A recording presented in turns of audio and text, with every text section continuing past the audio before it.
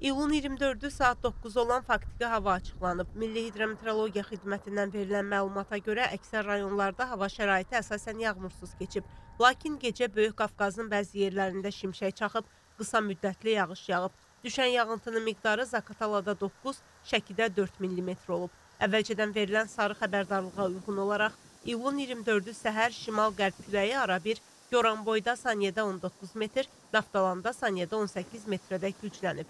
Havanın maksimal temperaturu Bakıda və Abşeron yarımadasında 35, Naxçıvan Muxtar Respublikasında 37, Aran rayonlarında 39, dağlıq rayonlarda isə 29 dərəcəyədək isti olub.